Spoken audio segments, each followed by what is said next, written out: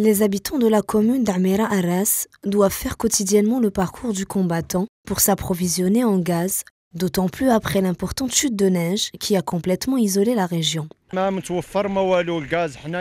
gaz n'est pas disponible, c'est nous qui devons aller le chercher.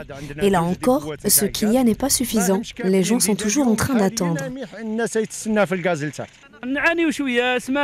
Nous souffrons vraiment. Nous devons attendre une semaine à dix jours pour avoir une bouteille de gaz. Nous sommes contraints de faire un feu de bois. Nous avons du mal à nous déplacer. Lorsqu'il pleut, nous ne pouvons même pas transporter nos malades. Et les élèves payent eux aussi le prix de la chute de neige, puisqu'ils se trouvent contraints à prendre des vacances. Nos enfants ne peuvent pas se rendre à l'école lorsqu'il neige. On rencontre beaucoup de difficultés. Parfois, ils n'y vont pas pendant 8 à 10 jours. Un véritable calvaire pour les habitants d'Amera Arras, qui éprouvent les plus grandes difficultés à cause des fortes chutes de neige.